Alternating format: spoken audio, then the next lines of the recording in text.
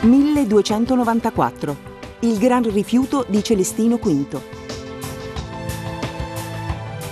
1992. Mogadiscio.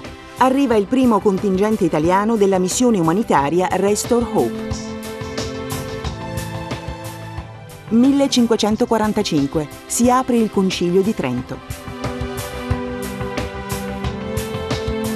Commenta il fatto del giorno Roberto Papetti, direttore del Gazzettino.